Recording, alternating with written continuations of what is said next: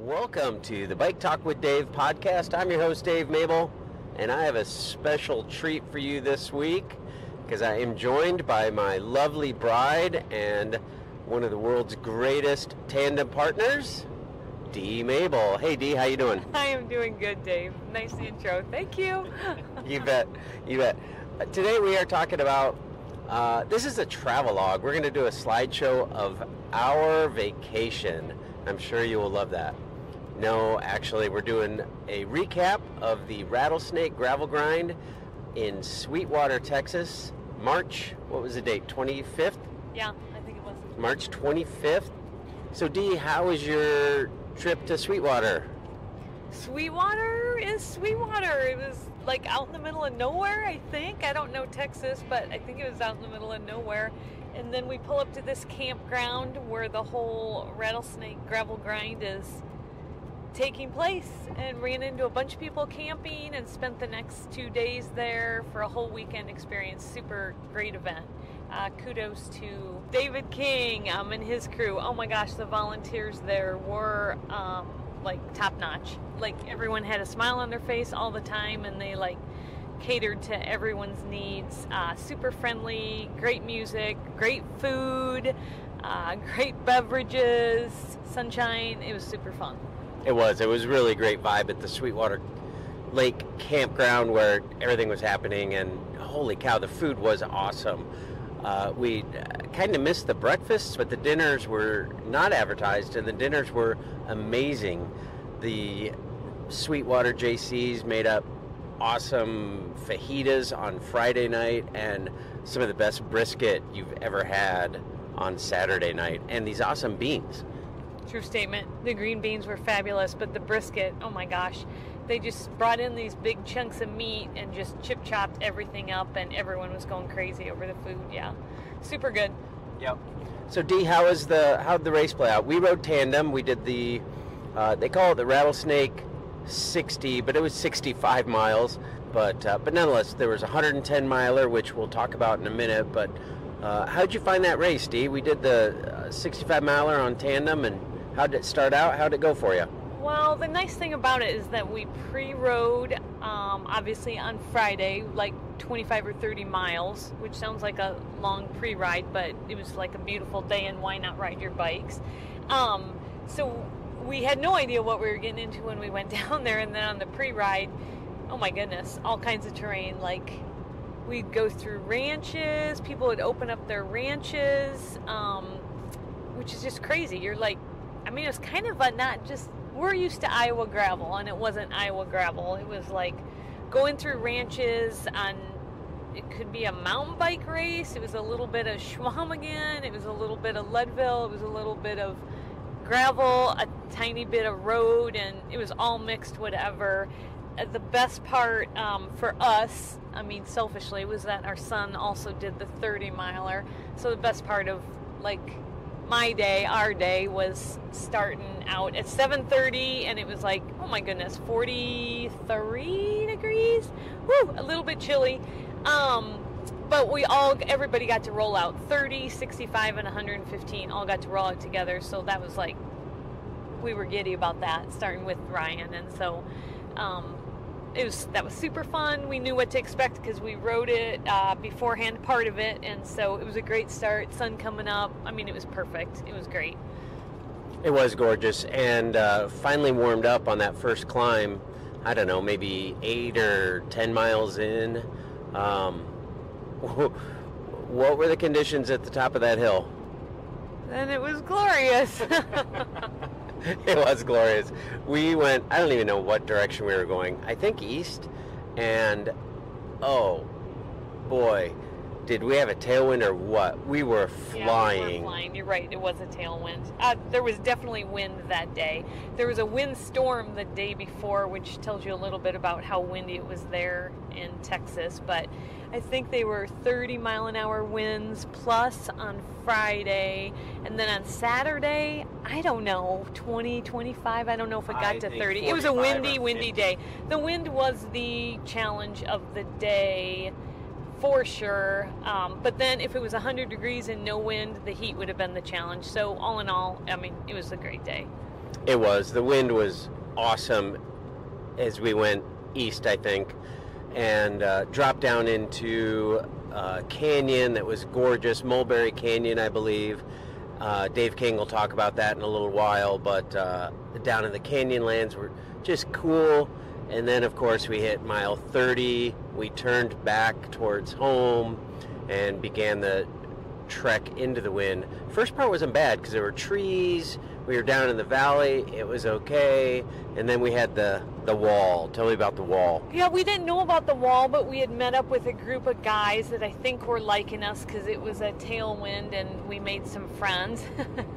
and then they all were like, "We pity you on the wall," and we're like, "The wall? Like we didn't pre-ride the wall the day before, so we didn't know what was coming." But it was a I mean, it wasn't long. It was super steep. Dave, you can probably say how steep it was, but there was one guy in front of us, Bobby, and we had ridden with him, and we're like, "We'll see you at the top," and then we see him at the very top of it, like get off his bike, and we're like, "Yeah, we're not doing that. We're riding the whole thing." And then we were almost to the top. We almost made it. Lots of people were walking, um, and we were all proud that we're making it. And then making it, we're making it, and there's big chunks on the super steep. We're not making it.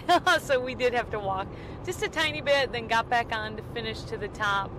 And then actually, that was the easy part. After the wall, when you think you're just going to go downhill, oh my gosh, we stayed up on top of this. I mean, I guess it's a Texas mountain hill for, I mean, it seemed like forever. Someone said 10 miles, someone said 5 miles, but every time you turned a different way, like you were riding under huge uh, windmills, and you just thought, okay, this is the last one, we're going to get down. And that was the hardest part of the race. It was just a total mental suck, right? That wind was hard. That wind was hard, but I will say if there's an advantage on a tandem, it's going straight into the wind because you do have the power of two and basically the frontal area of one. So we caught everyone we who passed us, and um, they just hopped right on our wheel. Yeah, I don't know that they necessarily liked us. I mean, they probably didn't dislike us, but they liked our wheel for sure. We made friends. yeah, I mean, we literally just sat on the front and towed two or three people uh, all the way to, well, all the way until we missed that turn back into the woods. But that wind was the definite character of the race. But uh, I don't know. It was awesome. Once we got done with that, we ended up coming back basically the way we came, and then uh, and then got to go around the lake instead of directly back to the uh, Sweetwater campground, and that was pretty cool going around the lake, wouldn't you say? A little gravel, a little pavement. Yeah, it was nice roads, and yeah, it was reminding us of different races we've done and our lifespan, and it was kind of fun to reminisce, but you're also in the point of the race where you're like, you're like, yeah, like I wonder what, how much longer we have to go. You know what? Like at every, I don't even know if it was 10 miles. It even seemed like more. There was like, it seemed like everybody had a white truck, but a white pickup truck, and then aid stations in so many different places that if it was blazing hot, like I'm sure those people were lifesavers to a lot of people. We did not stop anytime, but if you ever needed water, you had the opportunity like every 10 miles again those volunteers were like top notch and oh you know always reaching out for something and we were talking with a friend after the race and he's like oh yeah i had a hot dog or a bratwurst at this one aid station we're like what maybe we should have stopped not that we wanted a hot dog or a bratwurst but i guess they were serving up some good stuff too at some of them so yeah it was a fun it was a good end to the race then we came through the back end of the campground. And for us, it was again super sweet. Our son had already finished, but like he and uh, his wife Morgan and their dogs were like there at the finish line. So, I mean, for us, that's like as good as it gets. Yep, and then get done. Uh, victors of the tandem division in the 65 miler. I will say that's kind of a joke because there were no other tandems, uh, but it was a very good tandem course. Yeah, I think we, yeah, we, it was a good race for us. For sure. Yeah, I mean, a little bit mountain bikey here and there, but if you've got a rock solid tandem, like, highly recommend putting that race on your list. I'm not going to say we were sad we didn't do the 110. We're actually happy we did not do the 110 because of the wind. But uh, whether you do the 30, the 60, or the 110, like it's a great tandemable course. So load your tandems up, folks, and head on out there. Tire choice was perfect. We had 42s on, and um, uh, they were they were I mean, they were perfect overall for sure. I mean, there were times we could have used a fatter tire, and times we could have had a road tire on. But uh, for the most part, they took uh, took the beating, uh, kept us going through loose gravel, loose rock, and uh, rock and rolled on the hard pack as well. So, good tire choice. You know what? So uh, you can keep talking races, but I was just thinking of another perk of the whole thing. Oh my gosh, we got some sweet um, rattlesnake gravel grind uh, T-shirts, water bottles. Um, oh my gosh! Tell them about your favorite thing. So much swag. I was just getting there. My favorite thing. Well, our goal when we were in Austin visiting our kids was, oh, I hear they're giving away hundred cowboy hats, but I mean, there's 200 and some what, close to 250 people like, oh, I hope we win, I hope we win. Well, um, after the race, we all went and showered and stuff, and then we came back. We're like, we should go over, you know, where the little headquarters was, and um, you had to do a drawing for a hat, and like all we all lucked out and got cowboy hats, so we rocked our Texas cowboy hats the rest of the day. it was super fun. so we had a great time, and I will say, like the whole weekend was awesome support. You didn't have to pay for camping, that was included. The food was included. The cowboy hats were included. A water bottle. The ride Friday, the warm up ride, was supported. We had volunteers out on the course giving out water. We had a follow truck making sure we all got home. Like on it was Friday, a, on the pre-ride. Yeah, that was pretty incredible. Like we looked back the last few miles um, and we're like, that truck's been following us for a long time. Oh yeah, that's like support truck, like all the way back on the pre-ride, which was like a 25 or 30 mile ride, but like, oh my goodness, so nice. Um, and then I think they had a ride on Sunday for folks that weren't taking off. We, in fact, did get going, but I think they had another ride for folks on uh, Sunday. So for sure, a lot of bang for your buck. Like that was a that was a great weekend. That was a great weekend.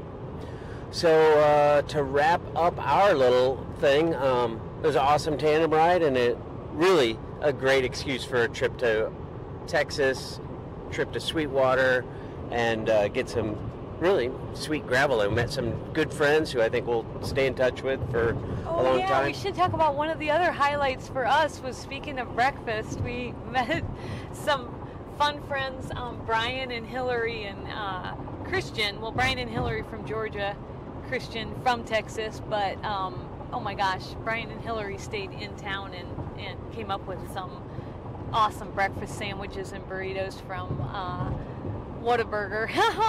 it was rocket fuel and it was fun to ride with them. We rode with those guys Friday and Saturdays. It was a real treat. Yep, and then fun to hang out with them for uh, the weekend, listening to music, and hopefully keep in touch for a long time. Yep. So the the the rest of the podcast, we've got. Uh, of course, I ran around with my microphone, talked to the 110 winners. Uh, Justin McQuerry won the whole thing. Uh, five, five hours, 21 minutes, and 50 seconds. He basically had to out sprint Austin uh, Whittington and uh, came in just six seconds ahead of him. And Emily Newsom, who's a Texas girl, she won the women's race and came in fifth overall, five hours, four, 54 minutes. And her husband James did the 60 miler and came in in just under four hours. So the two of them were having fun. And she's on a new team, which is cool. But I had the opportunity to talk to both Justin and Emily after the race. I also talked to um, uh, Christian, whom you'll meet after that, and ran into four dudes from Mexico and a dude from Texas, which was fun. Uh, you'll hear that. We sat around uh, dr- eating, eating um, brisket, and uh, they might have been drinking tequila, I think, maybe, and uh, talked to the guy who was doing the race timing and announcing, whose name I do not remember right now, but he, he will tell you. Uh, and that's kind of funny that I don't remember his name, and you'll see why when you listen. So we'll wrap it all up with a chat from David King. So, why don't you pour yourself a cup of chain and spoke coffee and enjoy these conversations from the Rattlesnake Gravel Grind. Oh, you know who else I talked to, Dee? Who? Speaking of Rattlesnake Gravel Grind, I- I talked to a dude who's been, uh, I don't know, what do you call it? R- r- roping? No, rattling? Rounding up? Rustling? Rustling rattlesnakes? For 45 years. He's been catching rattlesnakes for 45 years, and it's an annual thing they do. The rattlesnake population is so huge in that part of Texas that to protect livestock and humans, I guess, they go throughout the kind of the ranch lands and the countryside and round up rattlesnakes to keep the population in check. So they do a darn good job of that. And we'll talk to a dude who has done that for 45 years, and you'll want to tune in to see whether or not he's been bit. So with that, get yourself a cup of chain and spoke coffee and enjoy the show. Emily's got like 50 more miles. No me, doubt. So, you know, she's only, uh, yeah, like 50 miles or 55 miles. I was like, oh man, I'm almost done. Oh wow, she's. I'm glad I'm not. Emily. She's only halfway. Yeah, no doubt. That even was though it she was a hard. Like three miles ahead of me. Probably not. uh, she didn't. You didn't pass him, did you? Oh, Uh, she started off as soon as the gun went off. Well, no, I mean coming home. Oh no no no! I didn't finish No. my No, huh? Yes. No, some guys got He passed doesn't by the. Self credit. He's very strong. Yeah, I believe it. Look at those legs. You still shave your legs, man. Those are legit racing legs right there. Well, there. awesome, Emily Newsom. Uh, congrats on your big win today. What brings you to Texas? I love that you're here. Well, um, I actually live in Fort Worth with my husband and my daughter, and then um, I've been to Sweetwater for their Beat the Streets event and heard about their uh, rattlesnake gravel grind and wanted to come do it. And yeah, so we're here, really enjoying it. What'd you think? I loved it. The course is it's very hard. It's really challenging, but there's so much variety. Um, and I think like just the technical aspect of it is really fun and challenging. I like that. It was certainly not boring. You always kind of kept on your toes, and it made time pass faster because there was just always something new coming up. So all in all, yeah, it was great. It made time pass faster until after that big climb coming onto the ridge, and then we were into the wind for an eternity. Yeah, after the climb, um, I had been in a pretty good group, and then it ended up being three of us, and then just two of us. Um, but thankfully, he, the guy I was with, is he had a very good draft, and he was also very strong. So I, I helped, but it was really nice to have him with me because yeah, that was brutal going into the wind for so long. It was brutal. My wife and I are in a tandem, Ah, and a rule is Yay. never let go of the wheel of a tandem, and people we caught never let go of the wheel of a tandem. That's for sure. I believe it. Yeah. Well, that's amazing. Well, it was we were chugging, heading. Uh, I don't even know what direction that was, but it was definitely into the wind. It was Uh, hard. West, maybe. I was I trying really to watch no which idea. way it was coming from, but yeah. Yeah, I really have no idea. like you, know, you go you went up that hill and i'm thinking okay are we ever going to go back down or are we just going to stay up here where the wind is like Right. this is like where they got the wind farms going on like this is uh on a day like today this is where you don't want to be on a bike It was a good day to own a wind farm. That's for sure. That is for sure. i think they made a profit today So you, I'm trying to think, and, and forgive me, but uh, did you do Lifetime last year? Yes, I did do Lifetime last. Okay, so you're familiar with both Leadville and Chequamegon? I didn't race Leadville last year because I was just back from the Tour de France. But oh, that's too bad. yeah, right. Right. Um, but yes, Well, I did Chequamegon. Okay, so Chequamegon, uh, that was so. Well, you had half of it that was kind of normal. Um, I felt like today was one third Iowa gravel, one third Chequamegon fire roads, and one third Leadville like rocky mountain bike climbs. So I don't know. Have you ever done Leadville? No, but that's that, I'm I'm glad to hear that because that helps me understand what it will be like at least a little bit. Yeah, those rocky climbs are Leadville. Okay. Yeah, okay. for got sure, it. for Good sure, to for know. sure. Uh, you looking forward to the uh, lifetime? Yeah, I am. I'm excited. Yeah, for sure. I think I'm not entirely sure yet, but I may skip Unbound to focus on nationals. So really, it's just going to be mostly the last half of the season that I'll be really focused on it.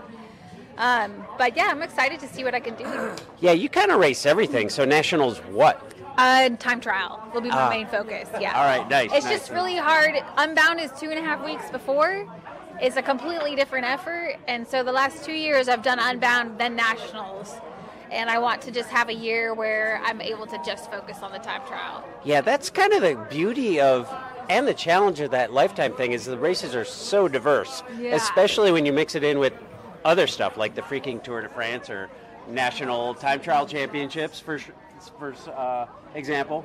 Yeah, but actually this year I'm not doing as much as last year, which is good. I was spread really thin last year. I had like over 40 race days. So this year is probably half of that. Nice, nice. Uh, and on a new team. And I want to have you on for a full length thing, but uh, Roxo, Megan Eastler is a good friend of ours. Oh, very uh, cool. We're Des Moines folks, so uh, uh, kind of excited about this new program this year. Yeah, it's it's exciting. There's a lot of enthusiasm in the um, uh, management and the ownership. They're they're really excited to see what they can do with this team and how far they can take it. And the riders are all very um, talented, hardworking, strong. So yeah, I, I agree with you. It's exciting to see where it'll go. Yeah, awesome. Well, congrats on your win today. Do you know your time? I don't know. I think I finished around 1:30 though. I can't remember what my time was. 130, so that'd be six hours. Yeah. Okay. Give or take. Yeah. Give or take, yeah. That's a nice day. Six hours, 110 miles. That's almost freaking 20 miles an hour. How did you do that? Uh, good group. Yeah, that's yeah, yeah, that was key. Having a good group. What's Heavy do? What's he's? What, what was your time today? I don't know. It was just under four hours, I think. Oh, dude, you're cooking. that Um, was hard but I to do. We were like 4:30 and had to earn all of that for Yeah. sure. So, I'm, I'm not sure what my time was, honestly. yeah, uh, four hours is close enough, right? About that, yeah. Yeah, nice. Not 20 miles an hour. I think we averaged maybe maybe 17. Yeah. Did it feel hard though? Uh, sometimes. But it was more like the technical aspect because I think he's, this is like his third gravel event ever, so Oh wow. it's new for him. Are you Yeah. roadie or mountain bike? Road. Road, And, yeah. Yeah, so like the technical stuff, I would get gapped every time we'd go through a corner or something. I would get gapped and then have to. This was legit technical. This was like mountain biking. I mean, cool. I sure hope it was because it sure as hell felt like it. for sure, for sure. Well, thanks tons for your time. Yeah, Congrats, and we'll talk to you again. Sounds good. Thank you. Yep, you bet. Uh, Bike Talk with Dave is the, the podcast. Uh, what's your favorite podcast? Bike Talk with Dave. I had a boy. I am here with the winner of the uh, Rattlesnake Gravel Grinder 110. Dude, 110 miles is a long freaking ways. You got salt all over your jersey, by the way. You need to shower. I, I do need a shower, yes. Uh, tell me your name and where you're from. uh, I'm Justin McQuerry. I live in Austin, Texas. Oh, Uh, you're Austin boy. Yep, yes, sir. Attaboy. Attaboy. We love Austin. Austin, we've decided, uh, is right now we're in Sweetwater. We are in Texas. Yes, yes, we are. Yeah, no, And when you're in Austin, you're in Austin. 100%. Yes. Austin's, Austin's our own little bubble. Yeah, it is. Like it. Actually, we just found some freaking great roads to ride on west of Briggs, Texas, just north of Austin. Oh my gosh, awesome roads. Yeah, awesome no, I, oh man, like the the greater Austin Loop has some some of the best riding. I grew up uh, a couple hours north of Austin um, in Lorena, so a lot of those back roads are very uh, uh, awesome. uh, awesome, very very uh, what's I've ridden them a lot. I- Prolific, is yeah. that the right word? Oh yeah, that's Yeah, I'll I don't go know. with that. Yeah. Vocabulary's at zero right now. I don't know, man. 110 miles, like that was a long day. Um, first of all, what was your time? Where'd you come in? uh, I think it was like just under five and a half hours. Uh, it was pretty pretty quick day. We were moving. How? Like we were out there, we did the 60 miler. Dude, coming home was brutal. All we could say on the way home is, "Thank God we're not doing the 110." How was it coming home? it basically the whole last half of the race was into a headwind or into a crosswind, and we were we were working for it. We had a we had a pretty good lead group, um, four or five guys. Uh, we were working really well together. I think I may have been the tallest person in that lead group, so I, I The, was the favorite? Uh, un, I, I don't know if I was the favorite. I don't think I was pulling quite as strong as a lot of the other guys, but it was the only thing I could do to stay with these these guys that were moving. Um, but yeah, we were just getting blasted by the winds the, the whole day. Yeah, that was that was definitely hard. Where did you pull away? Like how how was the wind secured for you? So the so we had four of us coming into that uh, that steep climb with about 20 miles to go. Um, and myself and Austin, who finished second, uh, rode away from the third and fourth place riders. On the climb? On the climb, yeah. Um, and then on the top of the climb, the two of us worked together pretty much all the way to the finish. Um, and at that point, he uh, he tried to attack a couple times. I did. I followed, just sat on. I was kind of gunning for a sprint, and uh, there was a little tactical misstep um, Oh. coming into the coming into the finish, um, and I, I kind of took advantage of it and uh, ended up getting How- the win that way. Like how far away? Where was that? Uh, that that last turn, so what three, Oh, four, really? 400 meters to go. Oh, um, nice. It was like right in the finishing stretch. Did you guys blast through that water? We uh, we did, yeah. We were moving. The moto was right with us, and kind of like just water and chaos everywhere. But we were full gas at that point. That's awesome. Um, so I see the little disc on your left arm, um, and you are riding for Team Novo Nordisk.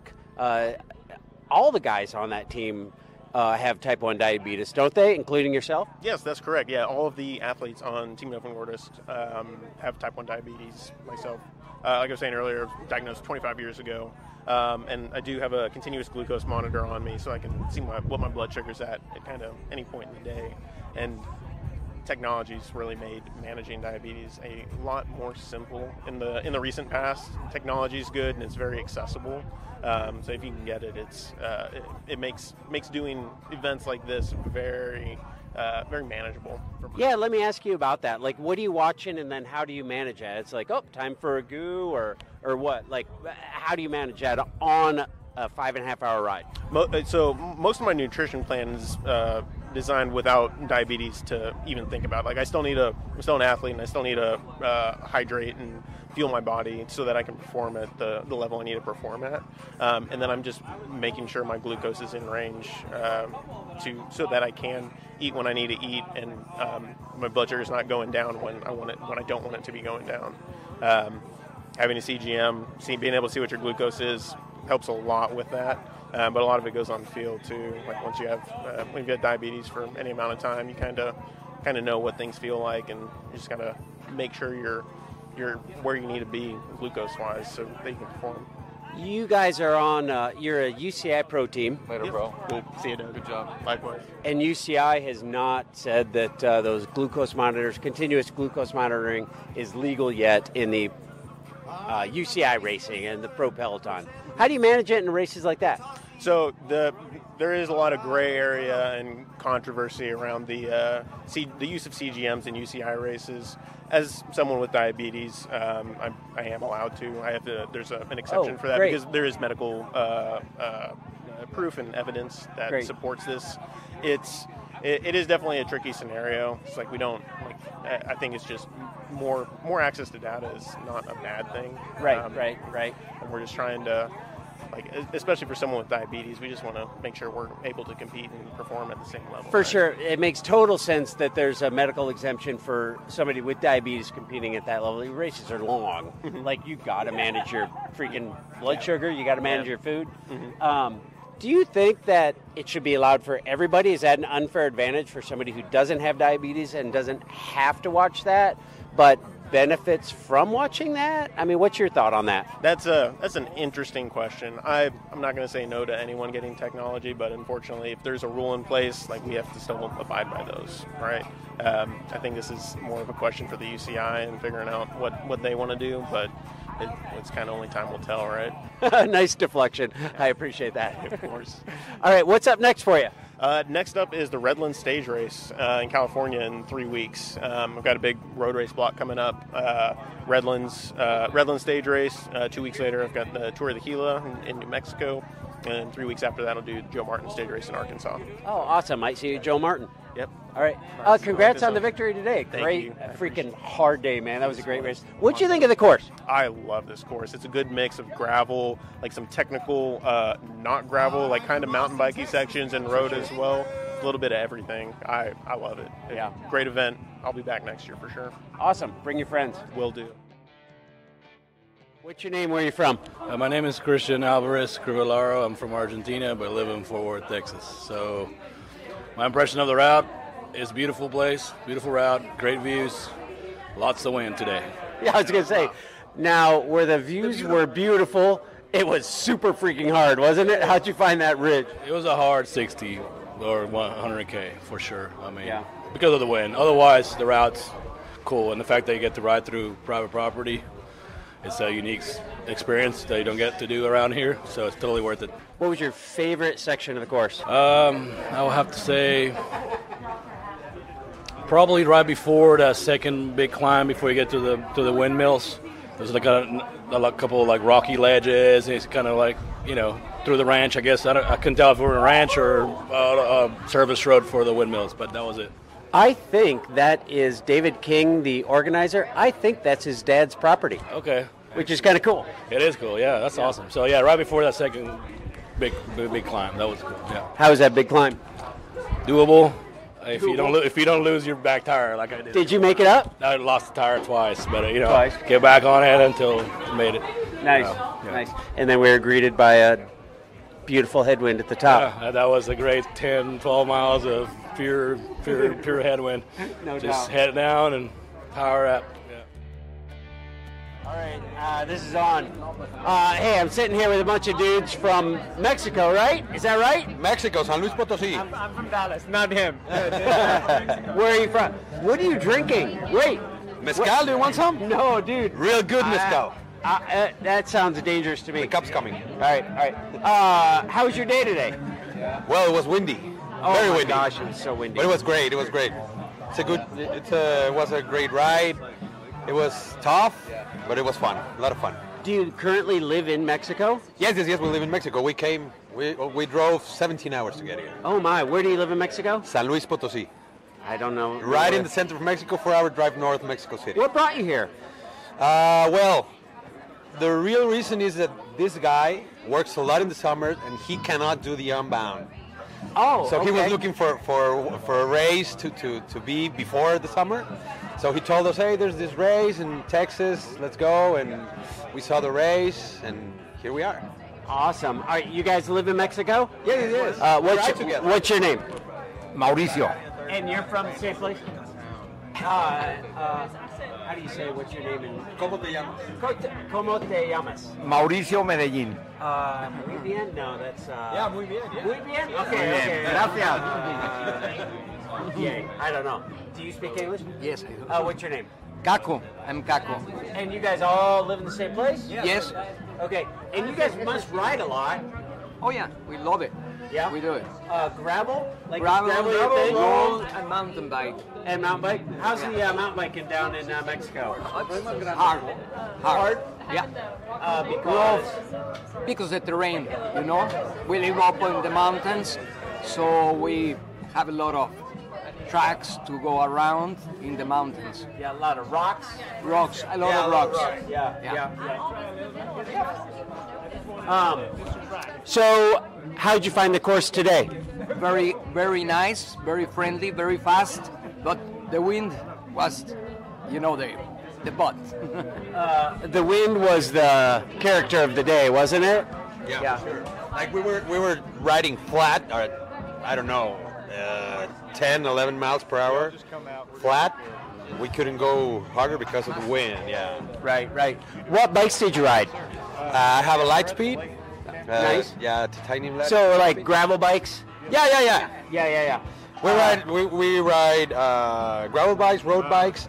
Mainly during weekdays, we we ride road bikes for our training, and it's easier to go like uh, to go riding close from home. Right. And then on weekends, we, we try to, to do gravel rides. We have to to travel, I don't know, 20, 30 minutes from home to, to start and get in the countryside. For a good gravel? Yeah.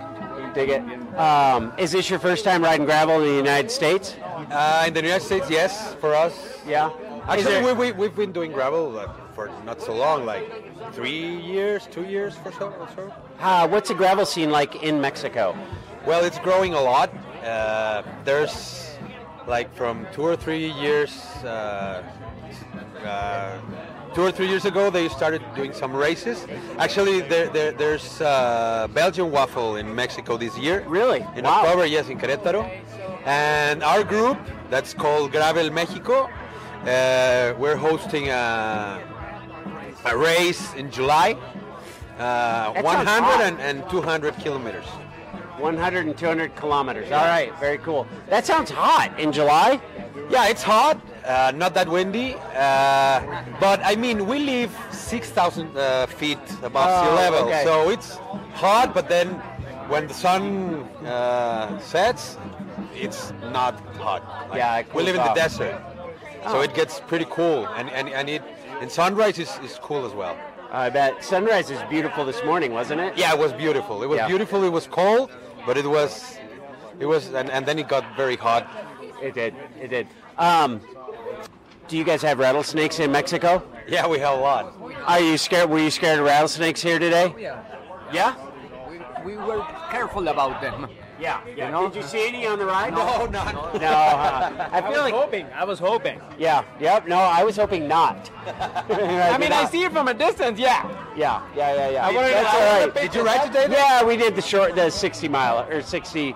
Yeah, 60 But, miles. but you you did the, the big steep climb in the 60. yeah. Yep. Part of the cl- the course. Yeah. What's the hell with that climb? Like, Did you make tricky. it? Did you have to walk it all? I had to walk the last uh, 20 meters. The, the, where it was really loose. Yeah, it was very loose, and I, I saw the truck with the lady over there, and then I was like, okay, I can do it, and I didn't make it. Nice. Do you make it? No, I had to, I had to walk uh, some sections of it. Yep. Yeah. I haven't gotten your name. What's your name? Anil. And you're the Dallas man. I'm from Dallas. Yep. Yeah. Awesome. Awesome. Are you hosting all these guys? No, no. I just I, I met I met them too on the course. Oh, no way. He's drinking mezcal. Oh, you're exactly. smart. You're the smart one. Yep, exactly. Yeah, attaboy, attaboy. Uh, did anybody ride? Did you guys ride the steep hill? What's that hill called? I don't know. Hey, Dave. What's that hill called? The steep heart. La- give it a name. la- steep one. La subida?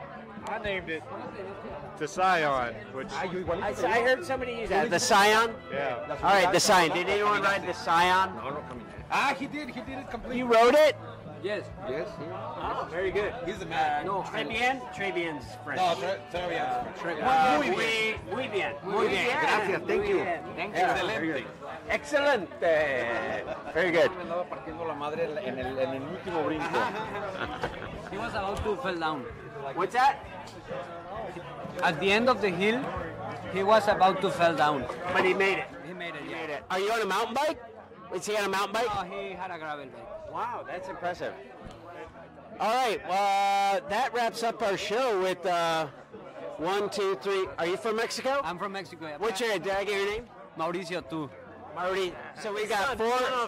Ah, muy bien, muy bien, muy bien. But I didn't. I didn't ride. You didn't ride? Dig it.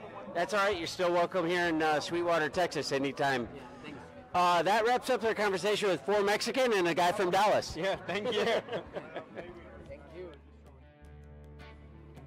Hey man, we are sitting at the finish line of the Rattlesnake Gravel Grind 2023.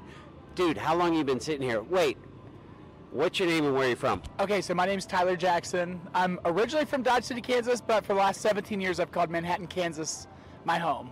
Nice. What are you doing here? We're in Sweetwater, Texas. So I consider myself to be a professional gravel bike race announcer.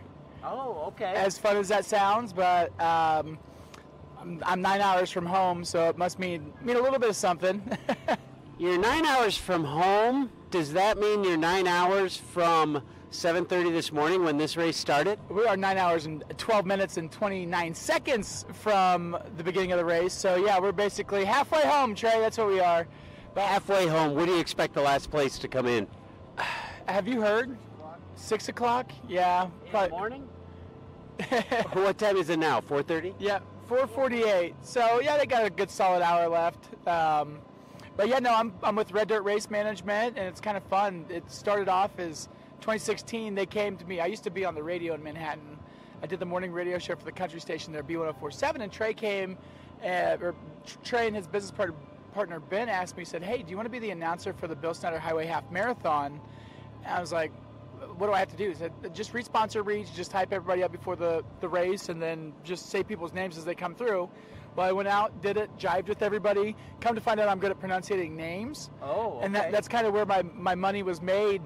After that, I've been doing all the races for Manhattan Running Company, and that ended up being was it 35 races in six different states last year, Oh wow. including the Big Sugar Gravel, Gravel Worlds, Gravel Locos, both of those in Hico and Pueblo, and then also I got Unbound this year. Wow, dude, you are legit. Yeah. I mean, at least I think so. I'm, I'm going to be the second announcer for Unbound, so That's awesome. Let me ask you a question. How long you been sitting here today? uh, I have been I've been walking around because they had a rattlesnake exhibition. They, Oh, I had shit. to go check that out. I got spit on. Look at that. I actually got spit on by a rattlesnake. Oh, you did. I can jersey. see it. Oh, dude, that's. I mean, that's almost scary, isn't it? I, I, I mean, it was because I thought I was going to pass away, and I even told Trey instructions for my funeral. I called my girlfriend to tell her goodbye and take care of my, my bulldog. I have an 80 pound bulldog named Happy, and he's my pride and joy. Said, he's yours, take care of him. Uh, but then, State Trooper, Texas State Trooper, public safety officer came up and said, you know what? Good thing that snake's venomous instead of poisonous. You'll be all right. and my Very nice. kidneys immediately start, stopped hurting. My vision came back. Man, I just can't Well, believe it. I, s- I think you better wash that shirt before your bulldog like licks it clean, though, don't you? It depends on whether or not Kansas State actually beats Florida Atlantic tonight in the Elite Eight. They're playing. They're playing in 29 minutes. Uh, in 29 minutes, I'll tell you whether or not I'll ever wash this jersey again. Fair enough. Uh, God, Florida Atlantic. How'd that happen? Uh, that was it. That was that was a sidebar. they had 34 wins this year, so it's a legit team. Dang, that is legit. Uh, so I have one more. This is a race question. Of course. You've been sitting here on and off since. Uh, It was. se- I mean, the race started at 7:30 on the dot. We got to the finish line. It was, it was about six when we got here. um, so, do you remember what happened at time number four hours and 36 minutes? Four hours and 36 minutes. So that would have been right at noon, a little afternoon. Little afternoon, little little afternoon. It was like 12, 13 or so. Um, the first tandem. Oh yeah, the uh, it was Dee and David. Gosh, I'm close. Dee and David. Um, Wow, if you get this, I'm super Mable. impressed. Oh man, Let's Dude, go! You just won the lottery. I don't know what you Was won. that you? Yes, You it understand? is. You won Okay. it. Yeah, absolutely, dude. I'm gonna go find something for you. What do you yeah, want? uh, hey, you gave you gave me a bike talk with Dave sticker.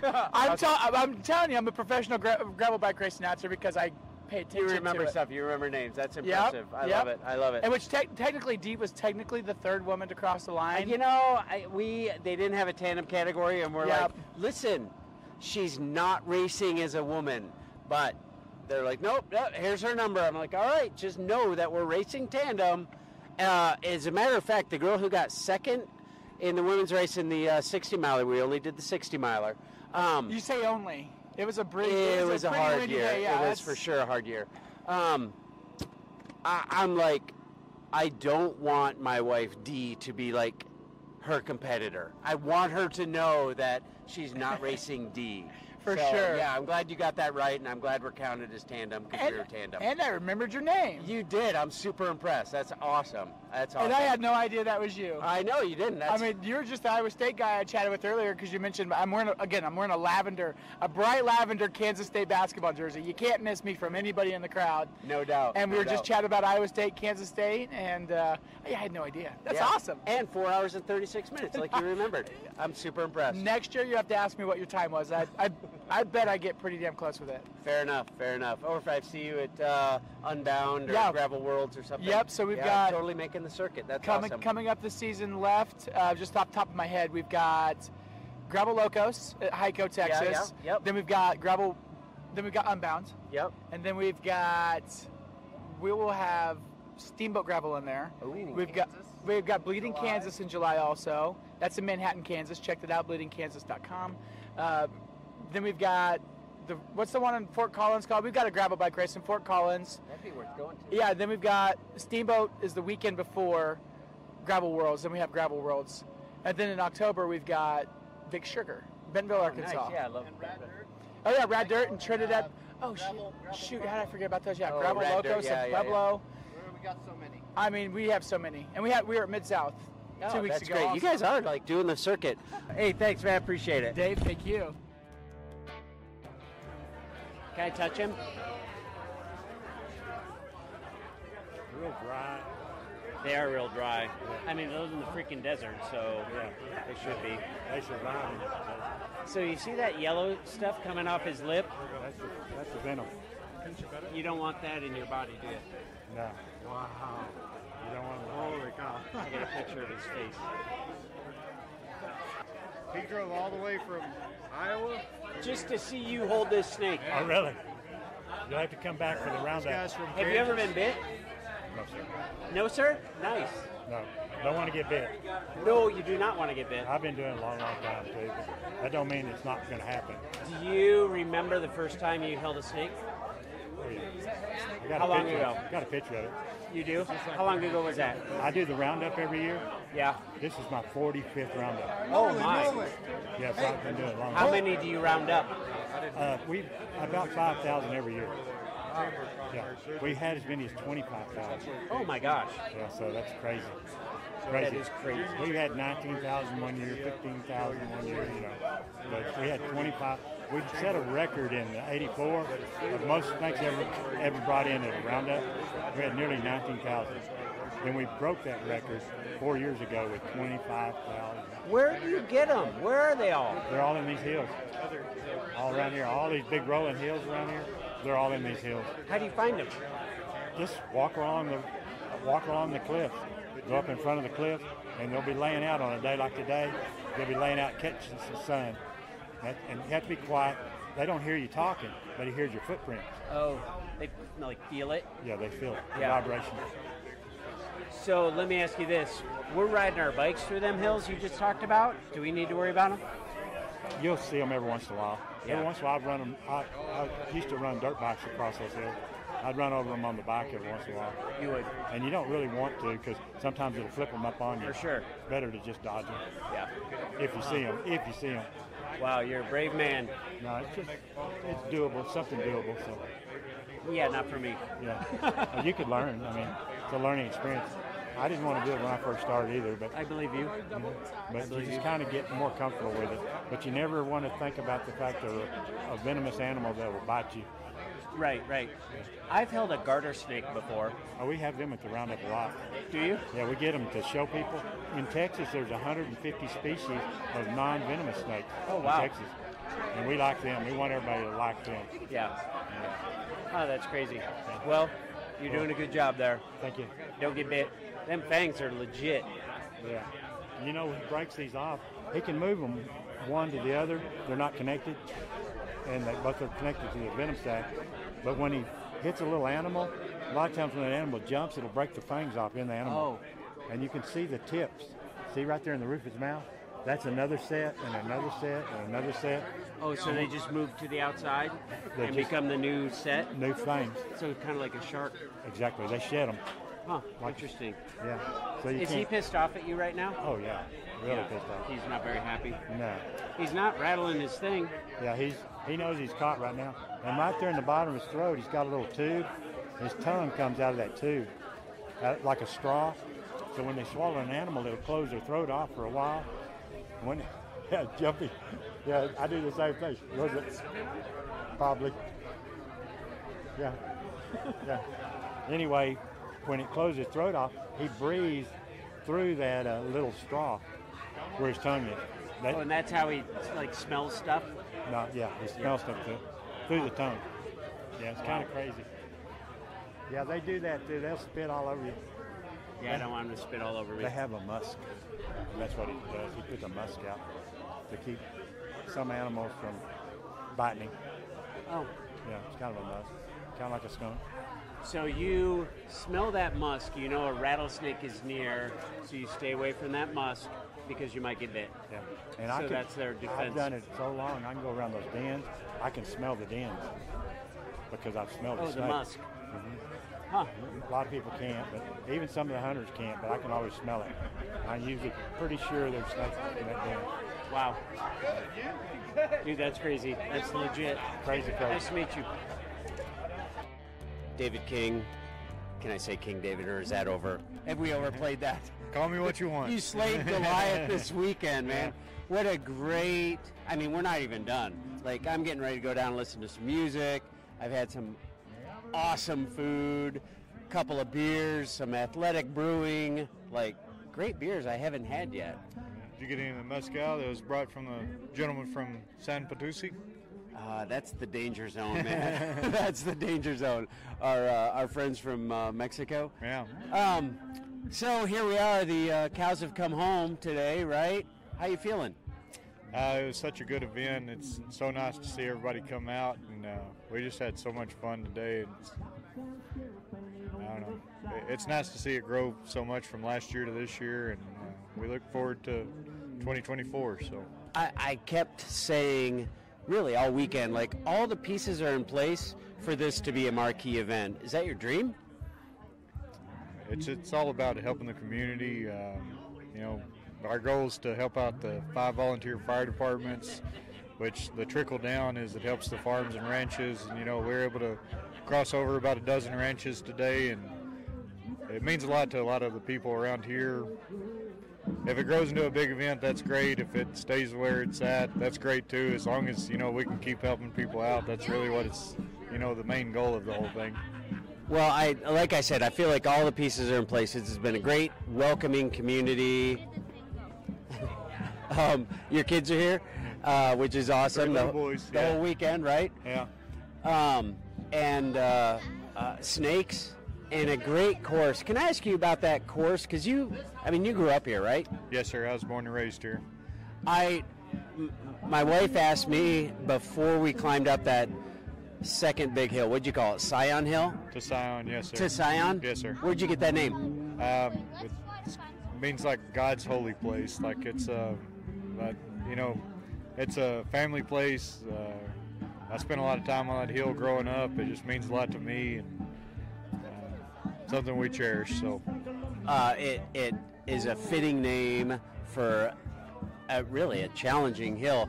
But, but as we're heading up into that, uh, we're taking back roads, and I, I said it was like uh, uh, equal parts Wisconsin Fire Road, equal parts Iowa gravel, and equal parts Leadville Rocky climbs. And uh, she's like, "God, how did like where did this come from?" I'm like, "David grew up here. I can picture him like riding horses or motorcycles on all of these roads. How did you come up with this course? It's awesome." uh, I was born and raised here. Um, spent a lot of time hunting and fishing and camping and of course riding bikes on all this territory. Uh, a lot of my friends own the ranches around, and so when we designed the outlay of the course, uh, you know, I was calling up friends and family members, and um, once I said it was something to benefit the volunteer fire departments, everybody was really behind it. Um, really, nobody had any objection to it. Um, I, I believe I told you this before. I called up Fabian Serralta on a Monday. He said I'll be there on Thursday. I designed the routes within like 24 hours, and that was including making the phone calls to all the farmers, ranchers, uh, all the land that we crossed. Uh, there was private property. You know, we didn't have to get any anything for the public, but uh, it was designed very quickly, and everybody got behind it in a short period of time, and so um, it was neat to see it.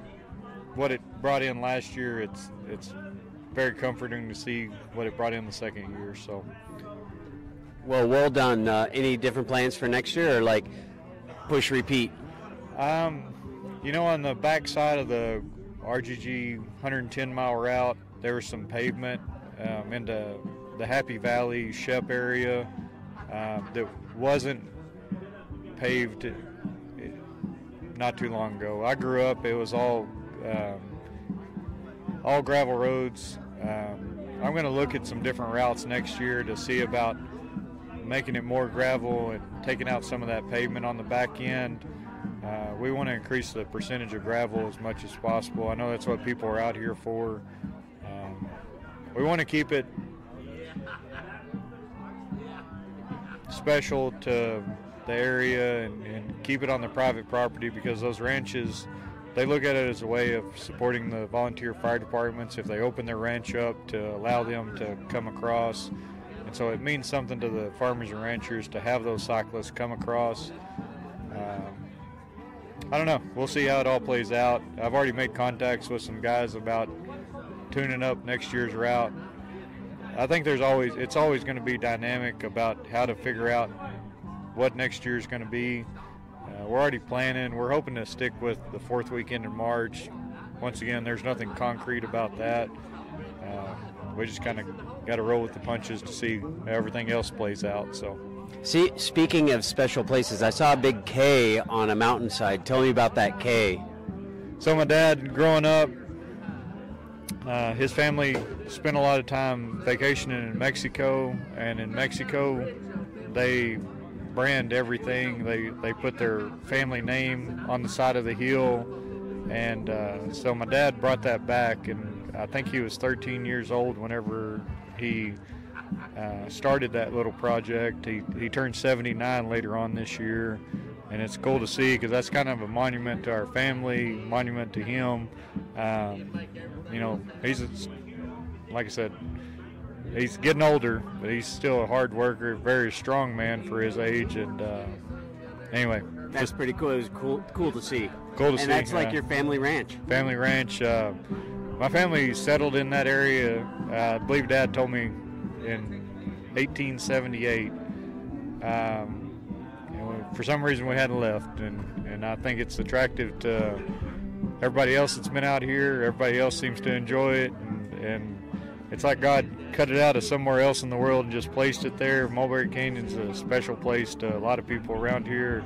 A lot of people just like driving or riding their motorcycles down through that area. And uh, anyway, it's just a pretty area for everyone. It is a pretty area. I loved riding through it. It was Yeah. gorgeous to ride through. So Yeah. thanks for inviting us. Well, thank you for coming down, man. Yeah, you bet. We, we sure appreciate it. I had such a great time. Yeah, uh, us too. Keep it up, man. And that's a wrap from our trip to Texas and the Rattlesnake Gravel Grind. I can't thank David King and the rest of the Sweetwater Jaycees for hosting this year's event and inviting Dee and I down to participate. Was made even sweeter that our kids were able to join us, and sweeter yet for all the new friends we made. It was a great weekend, and it is on the highly recommended list from now on. Rattlesnakes and all. You can check out all the details and be sure and add your name to the start list at rattlesnakegravelgrind.bike. And I can't thank you enough for listening. If you enjoy these conversations, I would welcome you to rate and review on your favorite pod service. Please consider subscribing so you don't miss an episode.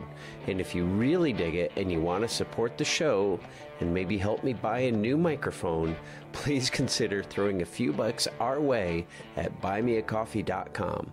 There's a link in the show notes. Or if it's easier for you, just shoot a Venmo to David Mable. When you do, we would love to send you a sticker. I'd also like to thank Chain and Spoke Coffee for supporting the show. You can order beans for home brewing now at chainandspoke.com, and I certainly look forward to the opening of the retail coffee and bike shop very soon, and that will also be the home of the new Bike Talk with Dave studio in Des Moines. Next up for us is the Gents Race, a 100k gravel ride for teams of five. After that, the Trofeo Sabato Santo on April 8th, where we'll be racing our skinny tires in a circuit race in Des Moines. Then on April 29th, we'll be joining the Iowa Gravel Gang and hopefully many of you in Northeast Iowa for the Driftless 100. That's a beautiful gravel ride through the Driftless Hills starting in Elkader. Plan to spend the weekend. You can register today at driftlessgravel.com. We certainly have some fun episodes coming up in the months ahead. We'll be talking about the Iditarod Trail Invitational, RAGBRAI, and so much more. Thanks again for listening, and I hope you have a great week. And we're going to play you out with a song from Backroads West, a group from just south of Sweetwater who entertained us after we were roaming the back roads of West Texas on our bikes. Papa again. I just got time